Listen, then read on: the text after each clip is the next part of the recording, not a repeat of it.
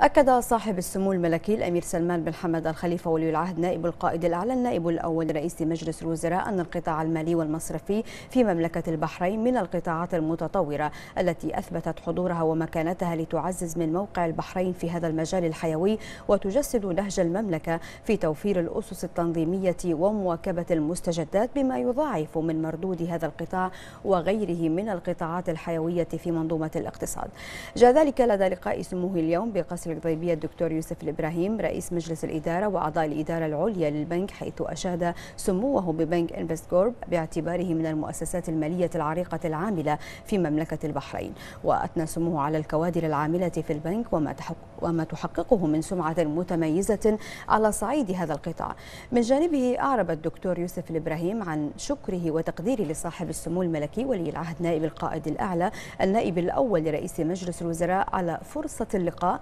بسموه مشيدا بالأنظمة المتبعة في مملكة البحرين والتي ساعدت البنك على تعزيز تواجده في المملكة وتنويع أعماله وأدواته الاستثمارية في البحرين والمنطقة.